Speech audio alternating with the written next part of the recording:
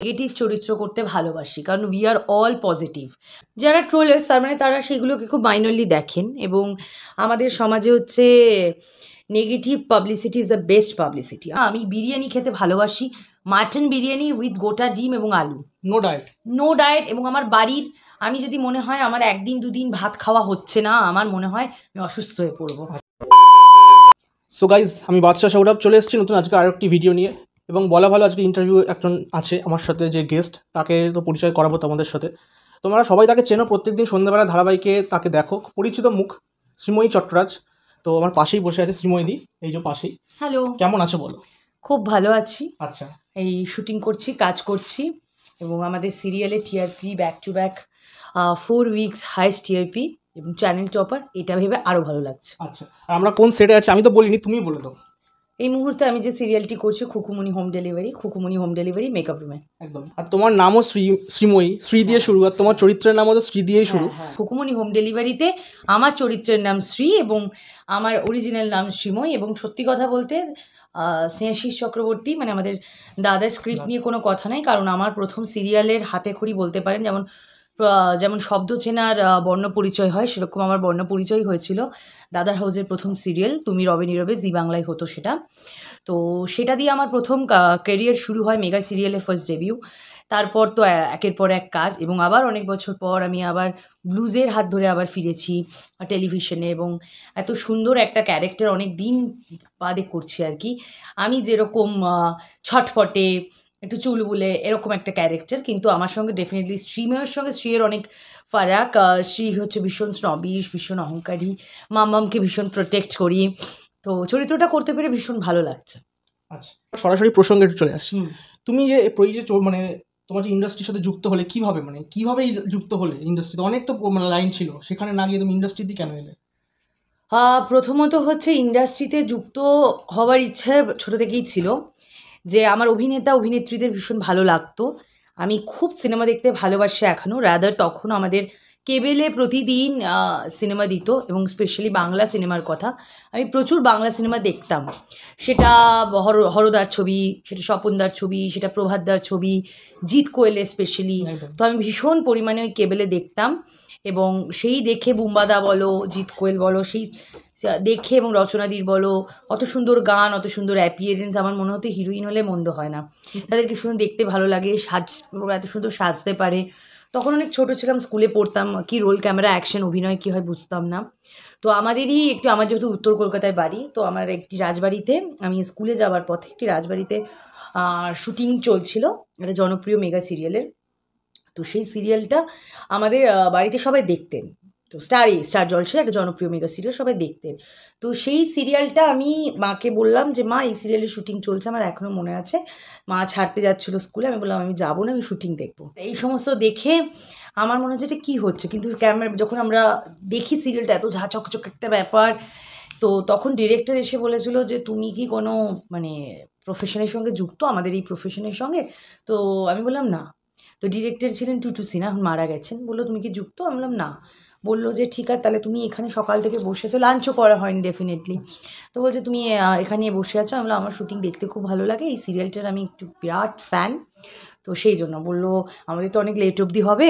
তুমি বরং একটা কাজ করো, তোমার কন্ট্যাক্ট নাম্বার তখন সেই মতো আমার মোবাইল ফোনও ছিল না বাড়ির ল্যান্ডলাইন তো আমি সেটার কারণে বললাম যে, ঠিক আছে লেটসি আমি নাম্বার দিয়ে এসেছিলাম। তার কিছুদিন পরেই আমার ওনারই আরেকটা সিরিয়ালের আমার ডাক আসে মানে সিরিয়াল বলছে, একটা ছবির ডাক আসে, দ্য লাইট স্বামী বিবেকানন্দ বলে সেখানে একটা চরিত্র করেছিলাম আমি। সেটা নিবেদিতা বলে, সেটা করার পর আমি আস্তে আস্তে ওয়েট করি, কারণ তখন কিছুই বুঝতাম না, তখন উনি অনেক গাইড করে দিয়েছিল। তারপর আরেক পরিচিত মানে দিদি বলতে পারেন আমার পরিচিত দিদি উনি মডেল মানে মডেলদের নিয়ে শ্যুট করে আর কি আচ্ছা। বিভিন্ন শ্রীনিকেতন বা এরকম হোর্ডিং শ্যুট আর কি ব্যানার তো সেই দিদি শ্যুট করতো এবং একটি ওকেশন বাড়িতে মানে একটি বিয়ে বাড়িতে কমন ফ্রেন্ডের মাধ্যমে দেখা হয়ে গেছিল। মানে আমার কাকার আর কি মানে পরিচিত ছিলেন। তো দেখা হয়ে যায় তখন সেখানে দিদিকে বলি যে তুমি তো এত শ্যুট করো। বলল তোর তো হাইট ভালো তুইও তো কাজ করতে পারিস।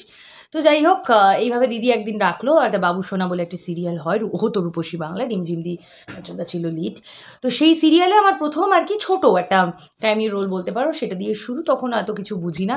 তারপর দীর্ঘদিন পড়াশোনা তখন I was in class eight তারপর আমার মাধ্যমিক হয় কারণ বাড়ি থেকে বলা হয়েছিল যে পড়াশোনা রাত বিরো তখন তো এত।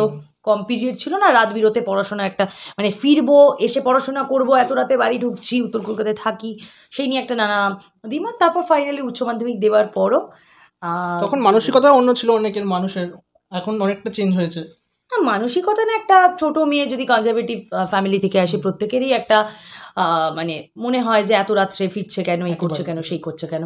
তো যাই হোক যখন কাজ করতে শুরু করলাম তখন তো মানুষের ভালোবাসা এবং অঢেল সাপোর্ট পেয়েছি অঢেল ভালোবাসা ছাড়া তো আজকে এই জায়গায় বসে হয়তো ইন্টারভিউ দিতাম না। মানে যেটুকু পেরেছি এবং আগামী দিনে এখনও অনেক কিছু শেখা বাকি। আমি একদমই নবীন ক্ষুদ্র একজন শিল্পী অনেক কিছু শেখা বাকি এবং অনেক ভালো ভালো কাজ করা বাকি। সোশ্যাল মিডিয়াতে প্রচুর ট্রোল হয়। বিভিন্ন রকম সিরিয়াল নিয়ে বিভিন্ন রকম সিনেমা নিয়ে তোমাদেরকে নিয়ে ট্রোল হয়। আমি আজকে তোমাদের এই শ্যুটে এসে মানে এখানে এসে দেখতে পেলাম যে খুব মানে যতটা দেখে মনে হয় ঝাঁ চকচক ততটা সহজ নয় ব্যাপারটা। তো যারা ট্রোল করছে এত সহজে তো তাদের উদ্দেশ্যে তুমি যদি কিছু বলতে চাও। যারা ট্রোলার্স তার মানে তারা সেইগুলোকে খুব মাইনরলি দেখেন এবং আমাদের সমাজে হচ্ছে negative publicity is the best publicity আমার মনে হয় যারা ট্রোল করছেন, তারা তো একটা পাবলিসিটি দিচ্ছেন। ধরুন একটা সিরিয়ালকে নিয়ে, আপনি এই সিরিয়ালটাকে নিয়ে একটা ট্রোল করছেন বা কোনো শিল্পীকে নিয়ে ট্রোল করছেন বা কোনো সিরিয়াল থেকে কোনো মানে একটা সিনের মাঝখানে কোনো একটা অংশকে নিয়ে ট্রোল করছেন, তার মানে আপনারা রেগুলার ভিউ ভিউয়ার্স এবং আপনারা দেখেন বলে আমাদের টিআরপি ভালো হয়। আর যারা ট্রোলার্স ট্রোলার্সগুলো ধরুন এত মিলিয়ন মিলিয়ন ভিউজ হচ্ছে। যারা দেখেন আমাদের মতো সাধারণ মানুষরাই ধরুন দেখে তো তারাও ওটা দেখে এনজয় করছে। তো আমার মনে হয় যদি একটা ট্রোল ট্রোল করছে যে ব্যক্তি সে যদি নিজের পাবলিসিটি বাড়াচ্ছে সাথে আমাদের পাবলিসিটি বাড়াচ্ছে যদি দুটো লোক দেখতো সেখান থেকে বারো জন লোক চিনছে। তো আমার মনে হয় মানুষকে যদি উইদাউট মানে কি বলব কোনো কিছুর বিনিময় ছাড়া যদি কোনো মানুষ কাউকে এনজয় দেয় এনজয় প্রদান করে আনন্দ দেয় তো তাহলে তো ভালো। আমার তো মনে হয় ট্রোলার্স ঠিক আছে public it's a kind of publicity hmm it's a part of our job actually তো এছাড়া এই খুকুমনি হোম ডেলিভারি ছাড়া তোমার আর যদি কোনো ভবিষ্যৎ প্রজেক্টের সাথে ব্যাপারে কথা বলতে চাও তুমি খুকুমনি হোম ডেলিভারি এখন আমার মনে হয় যে এত সুন্দর একটা গল্প অন্য ধরনের কনসেপ্ট এরকম হয়তো আগে কখনো হয়নি কারণ এটা খাবার মানে হোম আমরা সকলেই অনেক খাদ্যরসিক মানুষ এবং আমরা খুকুমনি হোম ডেলিভারি একটা অদ্ভুত নামটা শুনেই বোঝা যাচ্ছে যার মেনুতে খুকুর হোম ডেলিভারির মেনুতে স্নেহ মায়া মমতা ফিরি। লম্বা চওড়া একটা লিস্ট হ্যাঁ লম্বা চওড়া একটা লিস্ট আছে। তো এই মেনুর জন্য অনেকেই অনেকে সার্চ করেছেন হয়তো গুগলে যে খুকুমনি হোম ডেলিভারির খাবার আর খুকুর হাতের তৈরি স্পেশাল খাবার মানে ফ্যান্টাস্টিক তো আমার মনে হয় এইটা চলাকালীন আগামী দিনে কি প্রজেক্ট আসবে উই নেভার নো আমরা জানি না। কিন্তু স্টিল যেটা এখন যেটা নিয়ে আছি, আমরা যে পার্টটা করছি, সেটা আমি খুব এনজয় করছি। এবং আমি আগেও বলেছিলাম, আমি নেগেটিভ যখন আমি কৃষ্ণকলি করছিলাম, যে আমি নেগেটিভ চরিত্র করতে ভালোবাসি, কারণ উই আর অল পজিটিভ আমরা সবাই পজিটিভ বাস্তব জীবনে। কিন্তু আমাদের মনে হয় যে পজিটিভিটি থেকে বেরিয়ে যখন নেগেটিভিটি করছে কিছু ধরুন এই এত কষ্ট সিন বা কিছু বা কোনো রকম বাড়ির একটা আনন্দের মুহূর্তে আমি তখনও করে আছি। আবার যদি কখনো হচ্ছে যে খুব দুঃখ কষ্ট যন্ত্রণার সিন তখন হয়তো চোখ থেকে জল বেরিয়ে যাচ্ছে স্টিল আমরা বদমাইশি করে যাচ্ছি করে যাচ্ছি। তো সেটা মনে হয় একটা অভিনেত্রী বা অভিনেতার জীবনেও একটা অন্য অধ্যায় যে তুমি তোমার ইমোশনসগুলোকে কীভাবে ইউটিলাইজ করছ। আমার মনে হয় এটা খুব টাফ তো আমার খুব ভালো লাগে নেগেটিভ আচ্ছা। চরিত্র করতে। তো তোমার চরিত্র ব্যাপারে বা সিরিয়াল ব্যাপারে তো কথা হলো এবার একটু অন্যরকম বিষয় আসা যাক। তুমি খাবার খেতে কি ভালোবাসো? আমি সব রকম খাবার খাই। মানে আমাকে দেখেই বোঝা যাচ্ছে, আমাকে যারা দেখেছে, আমি যখন অভিনয় করতে এসেছিলাম, আমার মানে প্রবল রোগা ছিলাম প্রচণ্ড রোগা এবং আমি ডে বাই ডে লকডাউনের পর কারণ আমি আগের যে সিরিয়াল করতাম তার মেকআপ রুমেও জমিয়ে খাওয়া হতো এবং অদ্ভুতভাবে যারা খেতেন বাকিরা তাদের গায়ে লাগতো না আর আমার কি হয় আমার একটু খেলেই আমার গালটা ফুলে যায় আমার জল খেলেও ফুলে যায়। কিন্তু আমি খাওয়ার কোনো রকমভাবে কম্প্রোমাইজ করি না আমি বিরিয়ানি খেতে ভালোবাসি মাটন বিরিয়ানি উইথ গোটা ডিম এবং আলু। নো ডায়েট নো ডায়েট এবং আমার বাড়ির আমি যদি মনে হয় আমার একদিন দুদিন ভাত খাওয়া হচ্ছে না আমার মনে হয় আমি অসুস্থ হয়ে পড়ব। আচ্ছা। তো সেই জন্য আমার বাড়ি মায়ের হাতের ভাত বিউলির ডাল আলু পোস্ত বেগুন ভাজা বা বেগুনি এটা আমার স্পেশাল আমি রাত্রিবেলা শুটিং থেকে ফিরেও যদি সকালে কখনো না খাই আমি রাত্রিবেলা গিয়ে খাই। একটু আগেই আমরা মেকআপ রুমে বসে অর্ডার করছিলাম পিৎজা এবং আমাদেরও এখানে নানা রকম বুঝতেই পারছেন হোম ডেলিভারি বলে কথা এবং সেখানে আমার নানা রকমের কখনো মিষ্টি দই মিষ্টি একটু আগে বিহানকে বলছিলাম যে তুমি আর খুকু একা একা পিজা খেলে? তো আমাদের কোথায়? তো এই আমাদের খাওয়া দাওয়া নিয়ে চলবে। আমি খাওয়া দাওয়া কম্প্রোমাইজ কখনোই করতে পারব না। আমার মনে হয় ভালো খাবার খেয়ে ডায়েট করা উচিত। একদম। মনটাকে ভালো রাখা উচিত। মনটাকে ভালো রাখা উচিত। আর তোমার মানে খুব সুন্দর ডেস্টিনেশন যেটা তোমার মনে একদম মানে সবসময় মনে পড়ে। পাহাড়। পাহাড়। হিল স্টেশন অলওয়েজ যে কোনো হিল স্টেশন হ্যাঁ মনে হয় ওটা প্রকৃতি যেন তুলি দিয়ে এঁকে দিয়েছে। আমি কিছুদিন আগে আমার পরিবার নিয়ে লে লাদাখে গেছিলাম। আচ্ছা। ইট ওয়াজ অ্যামেজিং মানে ফ্যান্টাস্টিক আচ্ছা। আর এছাড়া তুমি কোথায় কোথায় গেছো? মানে যেখানে যাওয়ার পরে মনে হচ্ছে আরেকবার যাওয়া উচিত। আমার যে কোনো যে মানে any kind of hill station মানে ওটা হতে পারে আমি Gangtok tour? Sikkim tour lover obviously tour lover আমি গ্যাংটক সিকিম বহুবার শুটিং করতে গেছি ঘুরতে গেছি আমাকে যত এখন নিয়ে গেলে আমি যাব। এবং আমার হিমাচল আমার ভীষণ ভালো লাগে আচ্ছা। সিমলা মানালি অমৃতসর ওই দিকটা ভীষণ ভালো লাগে। তারপর আমাদের কিছুদিন আগেই যাওয়ার কথা ছিল সেটা ক্যান্সেল হয়ে গেছিল। তো ওটা হচ্ছে ইয়েতে আপনার ওই কাজা নাকো, তাবো, এই সমস্ত জায়গাগুলোতে। তো ইট ওয়াজ অ্যামেজিং আর কি। আমার ভীষণ ভালো লাগে ঘুরতে। আর লাদাখের মেমোরি তো মানে কোনো একদম ভারতের আর কি শেষ সার। সৌন্দর্য মানে যে স্পেল বাউন্ড এর সম্পর্কে কিছু বলার নেই। যারা যাননি তারা একবার জাস্ট ঘুরে আসুন। জম্মু কাশ্মীরকে তো ভূস্বর্গ বলে, কিন্তু লাদাখের ওই বিউটি বিউটি অফ নেচার ওফ অ্যামেজিং তো তুমি তো মোটামুটি ভেতো বাঙালি বলে দিলে। ঘুরতেও ভালোবাসে বলে দিলে। আচ্ছা আর কি কি তোমার ভালো লাগে? করতে আমার গান শুনতে ভীষণ ভালো লাগে আমার সিনেমা দেখতে ভীষণ ভালো লাগে আমার অভিনয় করতে খুব ভালো লাগে আমি বাড়িতে বসে থাকতে পারি না। মানে যখন একটা সিরিয়ালের শেষ হয় আর তার মাঝখানে যখন একটা সিরিয়ালের শুরুর মাঝখানে প্রতিটা শিল্পীর জীবনে তো অনিশ্চয়তা মানে আমরা যে পাবোই কাজ এরম ব্যাপার কোনো নেই কিন্তু সেই যে টাইমিংটা সেটা আমার মনে হয় যে আমি যদি তিনশো পঁয়ষট্টি দিন কাজে থাকতে পারি আমার খুব ভালো লাগে। এবারে আসি সামনেই পঁচিশে ডিসেম্বর তো কি প্ল্যান তো পঁচিশে ডিসেম্বরটা আমার পরিবারের জন্য খুব স্পেশাল কারণ আমার নিজ মানে আমার দিদির মেয়ে আমার বোনজির জন্মদিন। আচ্ছা। ও এখন she is now fifteen years old but still ও আমার কাছে খুব স্পেশাল এবং আমার কাছে এখনও সেই পুচকে যখন ছোট্ট এসেছিলাম আমার মনে হয়েছিল আমি বাড়িতে সকলকে বলেছিলাম মাকে বাবাকে যে আমার স্যান্টা ক্লজ আমাকে বেস্ট গিফট দিয়েছে আমার জ্যান্ত পুতুল। তো ওর ওর নামও জিশা ভালো নাম শ্রায়নিকা তো ওর জন্মদিন সেই জন্য ওকে সারপ্রাইজ দেওয়া স্যান্টা ক্লজ সাজা কারণ ও এখনও এক্সপেক্ট করে যে ওর যদি ওর জন্য স্যান্টা কিছু কিছু গিফট রেখেছে সেই স্যান্টা দায়িত্বটা আমারই থাকে। এর আগেও যত আমি যখন ছোট ছিলাম তখন আমার বাবা ওই স্যান্টা ড্রেস পরে ঝুলি নিয়ে আসতো গোপ প্রথমে দাড়ি গোপকে খুব ভয় পেতাম। তারপরে মনে হতো না স্যান্টা উনি সেজে আসতেন? হ্যাঁ উনি সেজে আসতেন। আমার ড্রেসটা এখনও বাড়িতে রয়েছে ওই বাবার ওই দেওয়াটা এবং আমার জন্য দিদির জন্য গিফটস রাখতো। আর আমার মনে হতো যে ভয়ের থেকে বড় কথা আমি দুদিন ভালো ভালো ভালো গিফট পাই বাড়ি থেকে। সেটা হচ্ছে আমার জন্মদিন আর একটা হচ্ছে এই twenty fifth of December laptop mobile যা চাই। আমার না স্যান্টা ইজ ভেরি মানে স্যান্টা বাবা খুব ভালো আর কি। আচ্ছা। তো এটা আমার কাছে খুব স্পেশ আমি ওরকম টিপিক্যাল ওই যে পাবিং ক্লাবিং এগুলো আমার ভালো লাগে না। আচ্ছা, আচ্ছা। আমার মনে হয় হাউস পার্টি করতে আমার ভীষণ ভালো লাগে। আমার কিছু ক্লোজ জন মানুষজন বন্ধু বান্ধব নিয়ে এদেরকে নিয়ে। আর আমার ওই দিদির মেয়ের সঙ্গে প্রতি বছরই ওর সঙ্গেই সময় কাটায়। তখন খুব ভালো লাগে। খুব ক্লোজ বন্ধু বান্ধবদের নিয়ে তুমি থাকতে পছন্দ করো। হ্যাঁ আমার মনে হয় আমি এত গ্যাদারিং এত লোক এত লাউড মিউজিক আমার একদম ভালো লাগে না। আচ্ছা।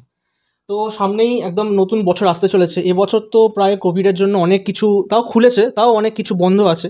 তো এটা যদি বলো দর্শকদের কোভিডের যদি কিছু বার্তা কোভিড নিয়ে বহুবার বলা হয়েছে দেখো এটা তো দু হাজার কুড়ি থেকে আমরা সাফার করছি এবং কোভিড হচ্ছে ঈশ্বরের অভিশাপ এবং এখনও শুনছি কোভিড ওমিক্রন এটা বোধহয় আমাদের মানে কি বলব জীবনসাথী হয়ে গেছে এবং এটা নিয়েই বোধহয় আগামী দিনে চলতে হবে।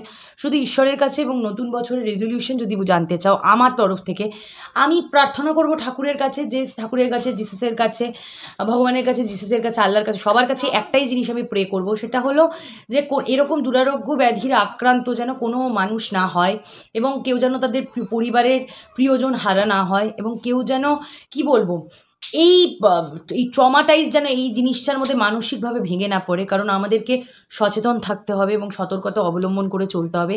যতই আমরা নিউ নর্মালে বিলিভ করি যে আমরা নতুনভাবে ফিরছি কিন্তু স্টিল আমি বলব মাস্ক এবং স্যানিটাইজার ব্যবহার করা একান্ত জরুরি। আজকে আমি বাইট দিচ্ছি বলে করিনি এবং তুমিও সেই কারণে হয়তো। খুলেছো মাস্ক জাস্ট হ্যাঁ আমি বাইট দিচ্ছি বলে আমি হয়তো খুলিনি কারণ এটাতে সাউন্ডের প্রবলেম হবে। স্টিল আমরা যদি মনে করি যে আমরা তো সমাজবদ্ধ জীব আমরা যদি ভালো থাকি এবং আশেপাশের মানুষকে ভালো রাখার চেষ্টা করি। কারণ আমাদের আনন্দ অন্যের যেন নিরানন্দ না হয় আমি এটুকুই চাইব যাতে আমরা মানে হোপ ফর দ্য বেস্ট এবং উই শ্যাল ওভারকাম তো ভিডিওর একদম শেষের দিকে চলে এসেছে আমি। যারা নতুন আসছে এই ইন্ডাস্ট্রিতে তাদের জন্য যদি কিছু বার্তা থাকে তোমার? আমি নিজেও যে খুব পুরনো তা নয় কিন্তু স্টিল আমি বলব বার্তা হচ্ছে এই প্রফেশনে থাকার জন্য টিকে থাকার জন্য এবং লং রানে ভালো ভালো কাজ করার জন্য দুটো জিনিস খুব ইম্পর্ট্যান্ট সেটা হচ্ছে ইচ্ছে আর একটা হচ্ছে ধৈর্য। কারণ আমি আমার ক্ষেত্রে বলব, আমার তো পরিবারের কেউ ছিল না অভিনয় জগতের সঙ্গে যুক্ত। আমি নিজের খেটে অনেক পরিশ্রম করে, অনেক স্ট্রাগেল করে আমি হয়তো যতটুকু মানুষ আমাকে ভালোবাসা দিয়েছেন, শ্রীময়ীকে চিনেছেন, ততটুকুটা কিন্তু আমার একমাত্র স্ট্রাগেলের জন্য। আর আমার পরিবারেরও আমার মা বাবার সাপোর্ট তো ভীষণই ছিল। এটার জন্য তাই নতুনদেরকেও আমি বলব, আমাকে অনেকেই দিদি, আমি অভিনয় করতে চাই। দেখো, অভিনয় তো করতে ডেফিনেটলি একটা সময় হয়তো আমিও চেয়েছিলাম, কিন্তু অভিনেত্রী হওয়ার যে পথটা, ওটা কিন্তু খুব সোজা নয় এবং একটা মানুষ অভিনয়, ধরো আমি আমি এরকম অনেক বড় শিল্পীকে দেখেছি একটি শুটিংয়ে সিরিয়াল করতে করতে হঠাৎ করে তার সিনটা ছিল হচ্ছে নিজেদের অ্যানিভার্সারি হচ্ছে শুটিংয়ে। তো হঠাৎ ওনার কাছে একটি খবর এলো যে ওনার মা মারা গেলেন। আমি দেখেছি বড় শিল্পী হওয়ার মানে এই যে একটা ব্যাপার বলে না বড় শিল্পী বয়সে তো বড়ই তার থেকে যে মানুষ শিল্পী সত্তা। শিল্পী হিসেবে বড় উনি সঙ্গে সঙ্গে চোখের জলটা মুছে দশ মিনিটের একটা নীরবতা পালন করে চোখের জলটা মুছে বলল চলো যাব। তো ডিরেক্টর বললেন ওনাকে যে দিদি আপনার তো এরকম অবস্থা আপনি কি করবেন? বলল দেখো যে চলে যাবার তো চলে গেছেন ওনাকে তো খুব ভালোবাসতাম। বুক কাঁদতে কাঁদতে বলল যে আমার ফিরে আসার নেই কিন্তু আমার এখানে পুরো ইউনিটটা বসে আছে। আমার যদি একটু তাড়াতাড়ি প্যাক আপ করে দাও খুব ভালো হয়। তো আমার তখন মনে হয়েছিল মানে আমি সত্যি আমার আমার কোনো ভাষা নেই মানে আমার হয়তো মনের জোর এটা নয়। কমিটমেন্ট যে একটা কাজের প্রতি কমিটমেন্ট ভালোবাসা শ্রদ্ধা সম্মান। অনেকে ভাবেন যে অভিনেতা অভিনয় করাটা খুব ইজি অভিনেত অভিনেতা বা অভিনেত্রীরা ভীষণ সস্তার হয়ে হয়ে যায়। একদমই না। হয়তো প্রচুর পয়সা রোজগার করে একদমই না। ওটা দেখতে ওরকম চকচকে লাগে, কিন্তু আমরা যারা অভিনয় করি, আমরা জানি কি কমিটমেন্ট কি পরিশ্রম শীত, গ্রীষ্ম, বর্ষা দিয়ে আর সেরকমভাবেই আপনারাও ভালোবাসেন। দর্শকরা যদি আমাদের সিরিয়ালগুলো না দেখতেন, তাহলে হয়তো আমাদের বৃহস্পতিবারের টিআরপিটা এক নাম্বার হতো না। That's really great for us এবং এইভাবেই ভালোবাসবেন সাপোর্ট করবেন। আর যারা অভিনেত্রী বা অভিনেতা হতে চান, তারা ইচ্ছা আর ধৈর্যটা রাখুন আর ডেডিকেশনটা রাখুন। তাহলেই হবে। শেষ পর্যায়ে চলে এসেছি। সামনেই নিউ ইয়ার আসছে। তো তুমি যদি কিছু শুভেচ্ছা দাও। বললাম যে happy new year in advance সর্বোপরি জানানো উচিত। Wish you all merry Christmas in advance আলুর উৎসব খাওয়া দাওয়ার উৎসব সবাই আমরা মেতে উঠবো উৎসবে এবং সবাই আমরা আনন্দ করব। শীত পড়েছে জাকিয়ে যা মনে হচ্ছে এখন বুঝতে পারছি। এবং নিউ ইয়ারেও সবাই ঠা- ঈশ্বরের কাছে প্রার্থনা করো আমিও করব। যেন ইংরেজি বছরের নিউ ইয়ার সকলের জীবনে যেন কালি অন্ধকার মুছে দেয় এবং আমরা সবাই যেন এরকম আলোর উৎসবে এরকম আলোর মরশুমে মেতে উঠতে পারি এবং আনন্দ করে থাকতে পারি। এটুকুই বলব আর সর- সর্বশেষে আমি জানাব সেটা হচ্ছে টোয়েন্টি ফিফথ আসুক টোয়েন্টি ফোর্থ ইভ আসুক থার্টি ফার্স্ট আসুক ফার্স্ট জানুয়ারি আসুক যাই আসুক। যাই হোক তোমরা অন্যান্য যে অনলাইনে সাইট থেকে হোম ডেলিভারি থেকে খাবার অর্ডার করো কিন্তু তোমাদেরকে এইবারের নতুন স্পেশাল শ্রীয়ের তরফ থেকে রিকোয়েস্ট খুকুমনি হোম ডেলিভারি থেকে করতে হবে। তার সঙ্গে যে স্পেশাল যা যা তোমরা আইটেম বলবে খুকু সাটা সাট বানিয়ে দেবে। কিন্তু এই অনলাইন এই হোম ডেলিভারি এই সাইট থেকেই করতে হবে। তোমরা কিন্তু খুঁজে বের করো। আর নইলে কিন্তু খুকু গিয়ে একদম পেপে দিয়ে চেপে দেবে হ্যাঁ? আর ওটা একটু ভালো যেটা স্নেহ মায়া মমতা ফিল স্নেহ মায়া মমতা ফিরি তো অনেক কিছু আড্ডা দিলাম। তো আশা করি তোমাদের ভিডিওটা খুব ভালো লেগেছে। শ্রীময়দির সাথে এবারে আমি শ্রীময়দিকে ছেড়ে দেবো। শ্রীময়দির শ্যুট আছে। তো অবশ্যই ভিডিওটা লাইক করো চ্যানেলটা সাবস্ক্রাইব করতে ভুলো না। তোমার চ্যানেলটার নামটা? বাদশা সৌরভ ব্লগস আচ্ছা বাদশাহ সৌরভ ব্লগস তোমরা ডেফিনেটলি দেখলে আজকে বিহাইন্ড দ্য সিন আমাকে দেখে তো অলওয়েজ ক্যামেরার সামনে মনে হয় বিরাট দুষ্টুমি করি এবং একদম শয়তানি টু দি পাওয়ার ইনফিনিটি কিন্তু শ্রীময়ের সঙ্গে কথা বলে দেখলে শ্রী আর শ্রীময় এক নয় শ্রীময় ভীষণ কথা বলতে আনন্দ করতে ভালোবাসে। শ্রী বদমাইশি করে অভিনয়ের স্বার্থে। তাই বাদশাহ সৌরভ ব্লগকে অবভিয়াসলি দেখবে এবং সাবস্ক্রাইব করবে শেয়ার করবে। যদি ভালো লাগে তাহলে এরকমই বিভিন্ন শিল্পী বিভিন্ন সিরিয়ালে বিভিন্ন শিল্পীদের নিয়ে দুষ্টু মিষ্টি মজার কথা জানতে পারবে। আর ক্রিসমাস আবারও জানাই merry Christmas in advance happy new year in advance আমরা আনন্দ করব এনজয় করব কিন্তু সতর্কতা বজায় রেখে সচেতনতা অবলম্বন করে। লাভ ইউ অল দেখা হবে। চলো, আজকের মধ্যে এখানে শেষ। আর কিছু আমার বলার নেই, দিদি যা করার বলে দিয়েছে। টাটা।